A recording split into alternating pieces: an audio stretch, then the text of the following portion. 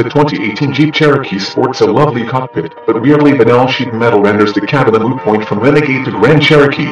Jeep knows what its past and its future look like it skipped a generation with the Cherokee remember the boxy XJ? Designers tossed out that rugged playbook and slapped a wan face on a Me Too crossover body when they designed the latest Cherokee we give it a 6 for styling, with extra points for its interior and a dark point for its weirdly vanilla body let's start with the nice things, which means turning our styling review inside out.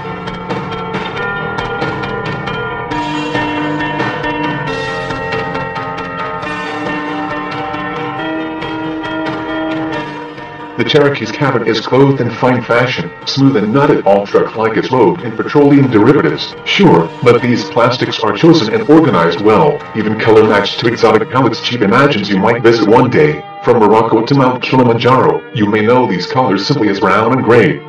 Jeep also displays a vivid sense of humor to match its tactile awareness.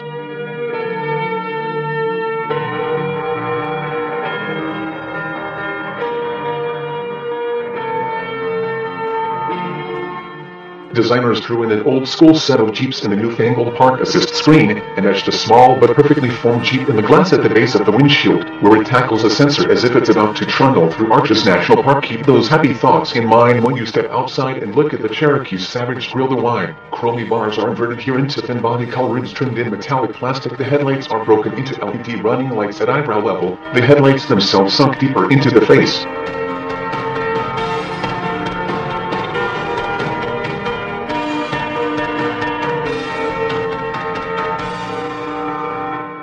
Where's the square-jawed Jeep that liberated us from egg-shaped crossovers for decades? This is a face that looks like it woke up five minutes before its alarm clock and still can't get over it. Hours into the day from the nose on back, the Cherokee may as well be a Santa Fe Sport or CRV. It's conventional beyond the pale, with none of the timeless mainstream appeal of the current Grand Cherokee.